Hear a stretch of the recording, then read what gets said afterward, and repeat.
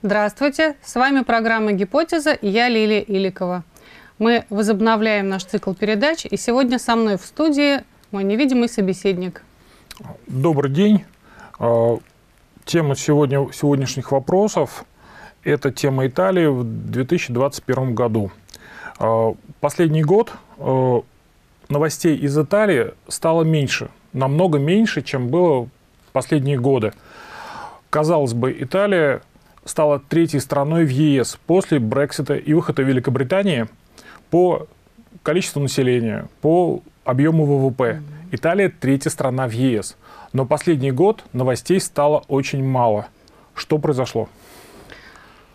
Действительно, мы с вами говорили об Италии в 2018 году, в 2019 году, и это были а, события, которые можно сравнить с политическим сериалом. Там всегда что-то происходит, и вообще итальянская политика – это очень, а, скажем так, суровое и опасное дело для тех, кто в ней участвует. Что касается вот этого 2021 года, действительно, а, в какой-то момент резко новости из Италии перестали поступать в таком объеме и такого накала. Что же там произошло? Сначала заглянем немножко назад.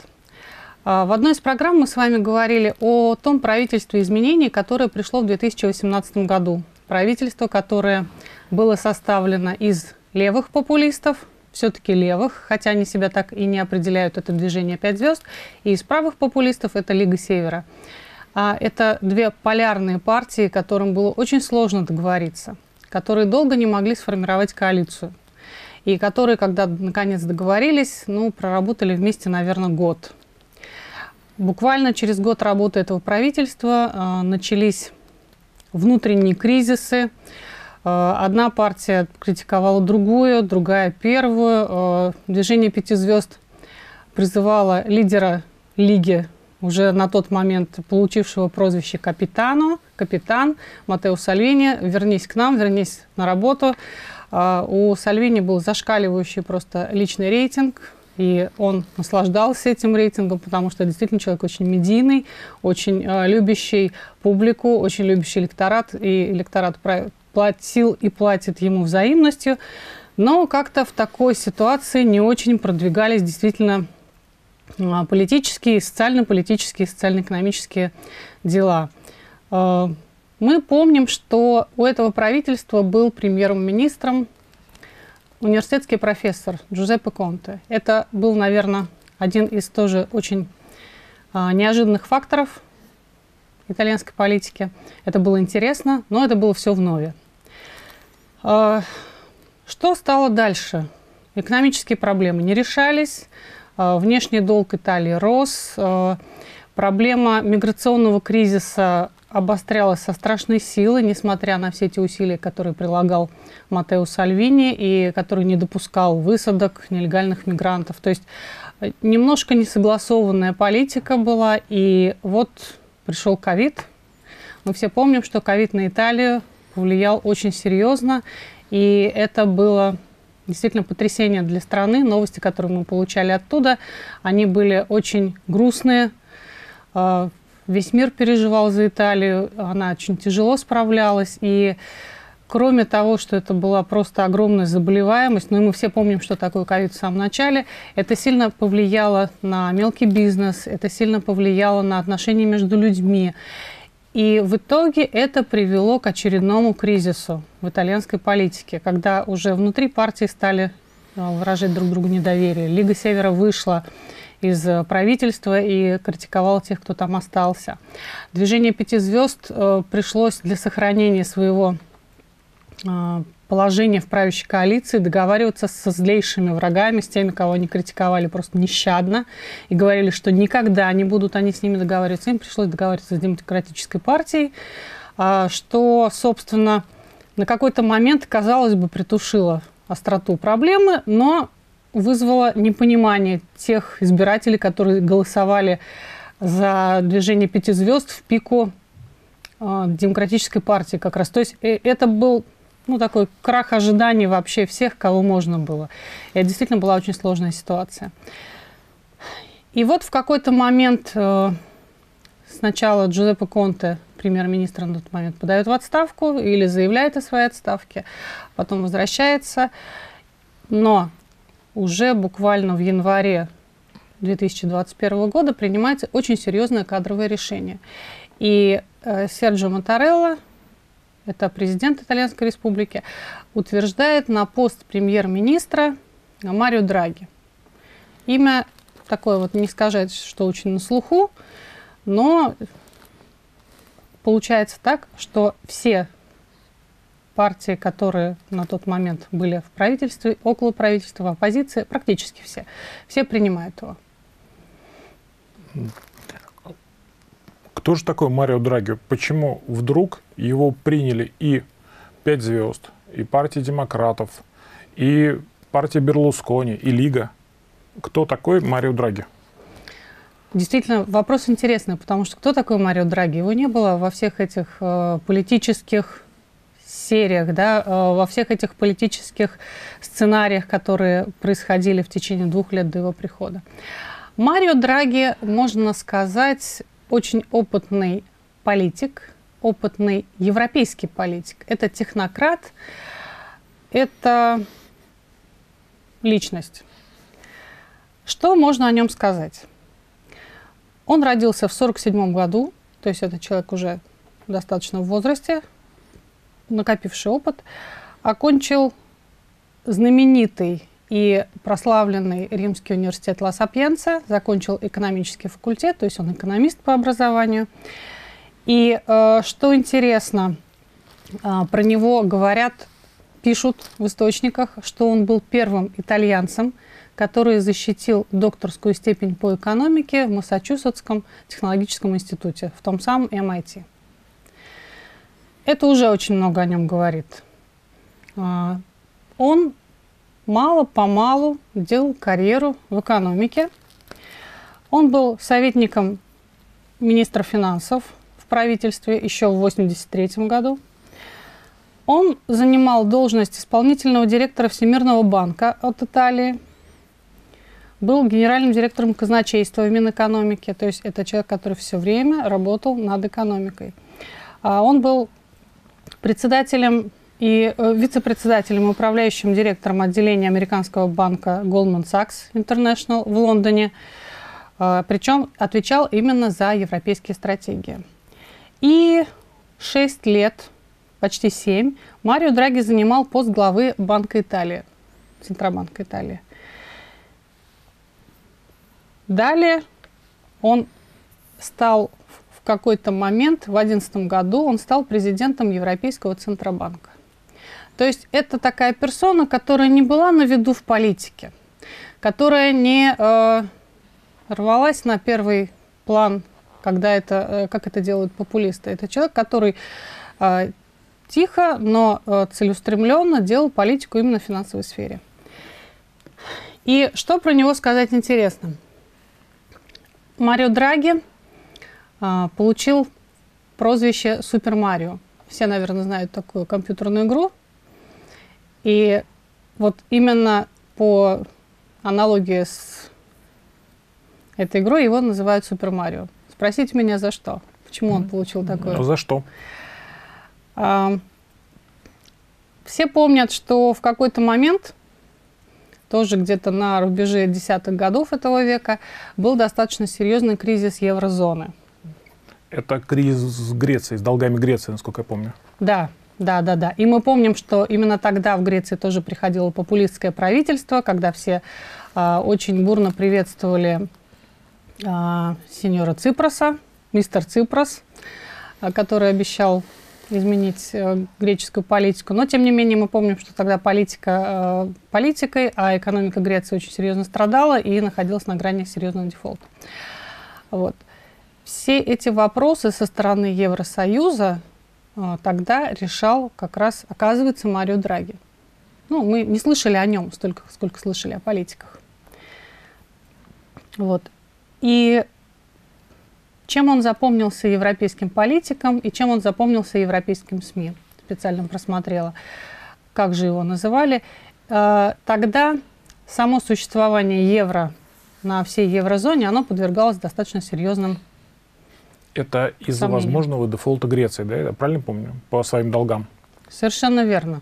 Совершенно верно. Э, само существование евро, вот как общей валюты, оно в тот момент подвергалось сомнению. То есть были уже, и даже если посмотреть э, в политических программах некоторых партий европейских, которые шли тогда на выборы в тот момент, были сомнения в том, что стоит сохранять евро как общую валюту. И как раз Марио Драги в тот момент, выступая перед сенаторами, выступая перед своими коллегами, сказал, для спасения евро нужно сделать все, что угодно. Вот именно в таких словах. Причем это произвело очень большое впечатление. И считается, что именно его усилиями удалось евро сохранить, поэтому его назвали Супер Марио. До сих пор так и пишут, что он Супер Марио. То есть, по сути, он сохранил единую ев э, еврозону валютную? Получается, что так. То есть Там. это то достижение, которое ему приписывается. Потому что тогда, как я помню, очень много в Италии тоже про это писалось говорилось, что имеет смысл вернуть лиру, тогда мы не будем так зависеть от, э, от евро, от евро-чиновников и сможем расплатиться своими долгами. Именно так. Именно так. И э, я помню, что об этом говорила как раз Лига, Лига Севера на тот момент. И э, есть даже фотографии, когда вот Италексит, да, э, но евро, все это такие плакаты, которые баннеры, которые э, Лига Севера использовала в своей предвыборной политике, говоря о том, что если бы не переход на евро, у Италии были бы свои преимущества, а Италия, мы знаем, она страдает от э, безработицы регулярно и от экономических проблем. При том, что ведь действительно Италия это достаточно крупная экономика, это не только страна туризма, э, ремесел, красивой обуви и luxury продукции. Это еще и очень мощное машиностроение, станкостроение и такая промышленность. Если можно, немножко поподробнее про Марио Драги, про его образование, может быть, про его семью. От, кто он, откуда, вот он из какой семьи? Um, если говорить подробнее, то, наверное, было бы интересно сказать вот не, даже не то, из какой семьи сам Марио Драги, потому что мы уже увидели, что это человек, который всю жизнь учится, работает, а, причем придерживается одного направления. И действительно грамотный экономист. Вот. Если говорить про семью, наверное, было бы интересно сказать про ту семью, которая сейчас у него потому что Марио Драги, он все-таки достаточно известен, а вот кто неизвестен и э, как бы первая леди, да, жена премьер-министра Италии, это Сирена, Сирена Капелло, про которую очень мало известно. Э, Ее жена очень мало появляется под светом софитов, она не дает интервью, Буквально э, даже итальянская пресса пишет, что по пальцам можно пересчитать ее выходы на телевидение. Но зато про нее известно, что она потомок семейства Медичи. Тех самых Медичи. Она происходит от Бьянки Капелло Медичи, жены великого герцог, герцога Тосканского Франческо, того самого а, того самого герцога Франческо, который наполнил содержанием галерею Уффици. Я думаю, что все, кто знает Италию, кто бывал когда-нибудь во Флоренции, встречали, что такое галерея Уффици. И вот это тот самый герцог, который приказал перенести для наполнения этой э, галереи вот, этой, вот этого собрания наиболее ценные семейные реликвии, наиболее ценные семейные экспонаты. То есть непростая семья. При этом у него двое детей, у Марио Драги. Оба уже учи, выучились и работают. А, его сын закончил университет Бакони. Это тоже известный итальянский университет, который готовит именно управленцев в сфере экономики и политики. И дочь биотехнолог. То есть вот такая семья, которая, несмотря на то, что он премьер-министр, то, что жена потомок Медичи, они все работают, как работает сам Марио Драги до сих пор.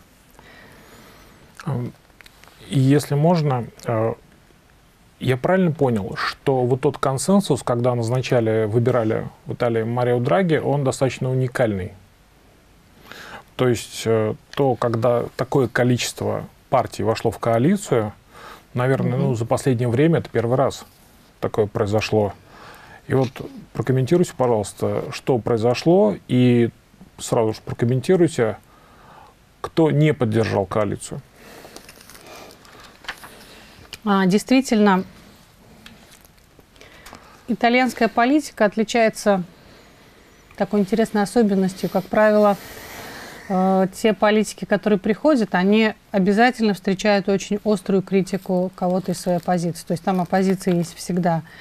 И ну, этого хватает, то есть принятие политиков хватает где-то на полтора-два года, что мы видели по Луиджи Ди Майо, лидеру движение пяти звезд, то, что мы видим по Матео Сальвини, который, к счастью, вышел, к счастью для него, он вышел из правительственной коалиции в самом начале, и поэтому не успел получить свою порцию критики. Что касается Марио Драги, э, действительно, там и затишье с определением правительства было связано с тем, что когда была предложена его кандидатура, каждый лидер партии высказался э, в его поддержку. Это, ну, это уникальное для Италии явление. То есть спорить не стал никто. И, разумеется, его принял Сильвио Берлускони, а, потому что он с ним уже пересекался. Сильвио Берлускони – это политический тяжеловес. Это человек, который, несмотря на свой преклонный уже возраст, ему за 80, он остается в политике, он с ним уже работал. И поэтому там он его принял. Маттео Ренци – это экс-лидер Демократической партии Италии, который сейчас возглавляет движение «Италия Вива», «Живая Италия». Он сказал буквально, это наилучший выбор для Италии. Матео Сальвини, который ревностно всегда относился и относится к позиции премьер-министра, потому что у него самого нереализованные на данный момент премьерские амбиции. Он сказал, если это хорошо для Италии, это хорошо и для Лиги. Э, ни словом не споря. Его приняли, Марио Драги, естественно, приняли и э, лидеры движения «Пяти звезд». Тоже без всяческих условий, потому что вес и опыт этого человека, он перевешивает любые амбиции любых других молодых лидеров.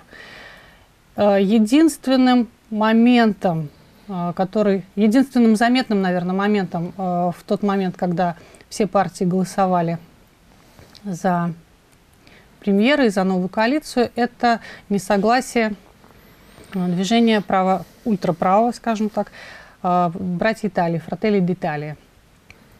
Эта партия, она член правоцентристской коалиции, в которой входят, кроме братьев Италии, еще и Лига Матео Сальвини и «Вперед Италия» Сильвио Берлускони.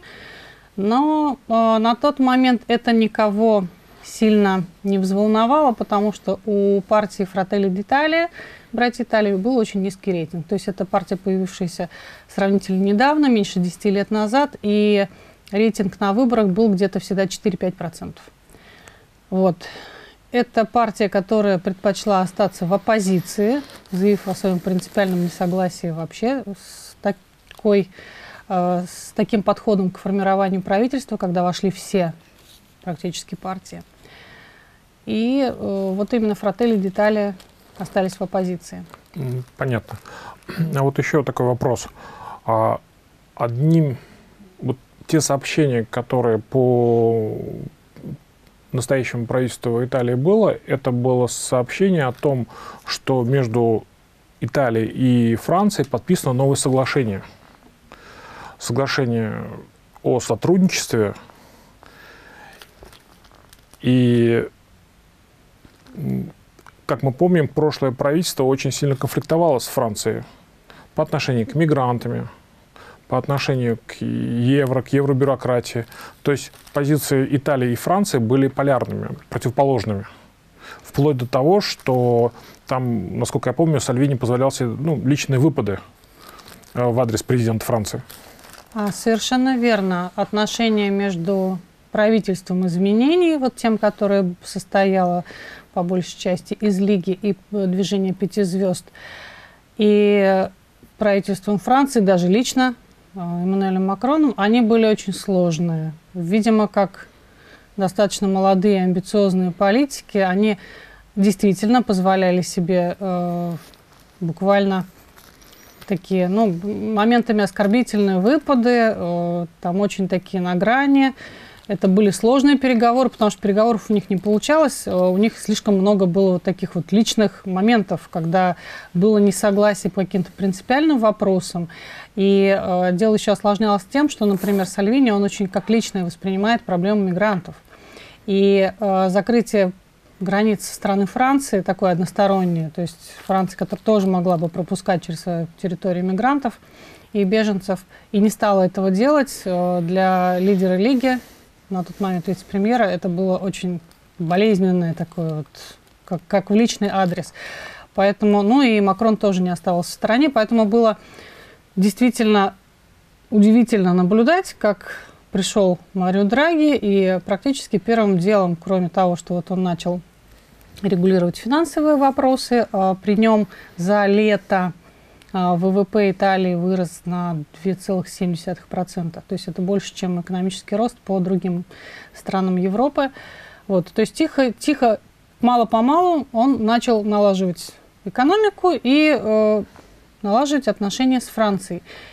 До такой степени, что сейчас а, Германия, в которой тоже сменилось правительство, и Австрия, в которой тоже сменилось, сменился канцлер. То есть э, политическое поле, оно обновилось совершенно как-то, ну, кардинальным образом вот за, эти, за этот период.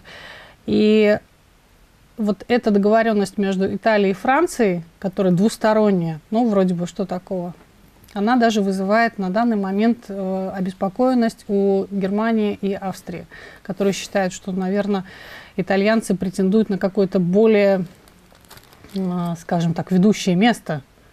И мы можем видеть, как обостряются уже противоречия внутри Европейского Союза между теми странами, которые еще буквально вчера об этом не говорили.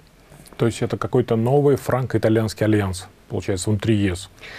Но если Марио Драги будет продолжать в таком же духе, и Франция будет также договариваться с ним, а с ним, наверное, сложно не договориться, потому что это человек, который столько лет работал на очень сложных вопросах. Это же, кстати, он э, ввел отрицательные ставки по депозитам. То есть э, вот эти банковские ставки по депозитам, когда вы платите, э, вы кладете деньги в банк, а потом получаете меньше за то, что деньги хранятся там то есть отрицательный депозит. Это тоже его изобретение, считается, что так. И с этим никто не спорит. Поэтому, наверное, Франция и Италия – это действительно будущий альянс, такой формирующийся сейчас на наших глазах. Понятно. И вот еще такой вот вопрос.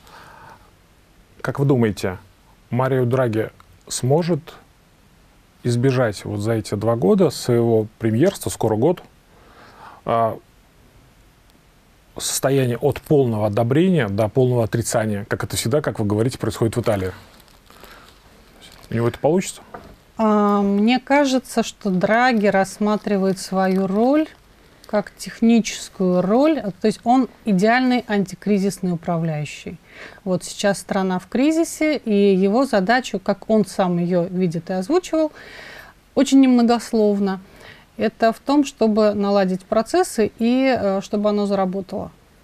Вот. Я сомневаюсь, что он захочет дальше идти э, в премьеры Италии, потому что ну, мы не видели такой эйфории, которая была у предыдущих избираемых премьеров.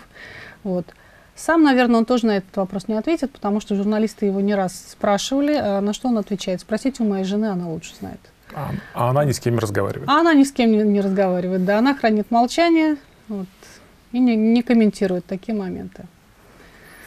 Вот, наверное, поэтому мы и не получаем такого большого количества новостей из Италии, только такие очень четкие, сухие, но зато турпоток восстанавливается, экономика приходит в норму, и будем надеяться, что все будет хорошо.